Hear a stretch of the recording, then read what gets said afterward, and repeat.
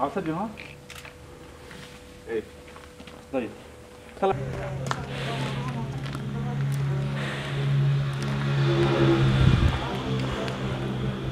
باشا باشا.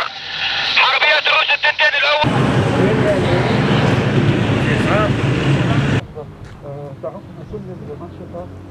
غارات جوية من قبل طيران النظام الحربي استهدفت مدينة خان شيخون صباح اليوم آه، بصواريخ آه، أربع غارات آه، منها صاروخ يحوي مواد سامة أدى إلى إصابة أكثر من 250 مدني بحالات اختناق آه، في بيوتهم وهم نيام قمنا بالتوجه إلى المكان آه، في أثناء أثناء عمليات الإسعاف تم إصابة كامل الفريق بحالات اخ- اخ- اختناق أيضا عملنا بعد ذلك على إخراج المصابين من بيوتهم إلى المشافي الخارجية حالات اختناق.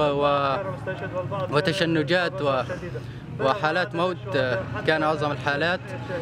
الحصيلة حتى اللحظة أكثر من 250 إصابة بالإضافة إلى قرابة ال 50 شهيد حكوا على الشهداء تحت